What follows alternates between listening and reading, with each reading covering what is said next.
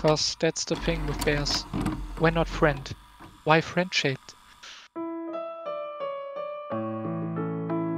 Nobody knows. if you get mauled to death by a bear, then at least get a head pet in there somewhere.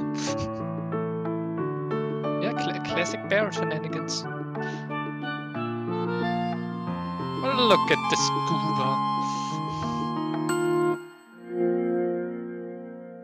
Salmon. Bear is fluffy.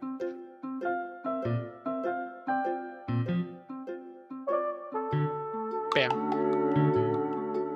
And now I want a swordfish, please.